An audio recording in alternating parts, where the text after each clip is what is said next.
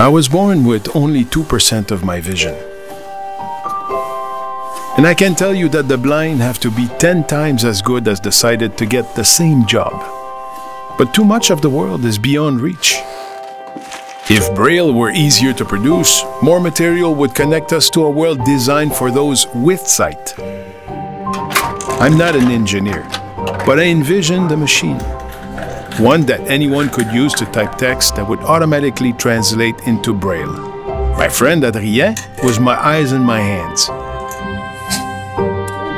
It took endless trial and error, more than 10,000 hours of painstaking work to build the Converto Braille. Not long after, we set about publishing the latest textbooks, even the daily newspaper. It was all unlocked by a single device. Roland Galarneau's machine was the first of its kind, a computerized printer capable of translating text into Braille at 100 words per minute.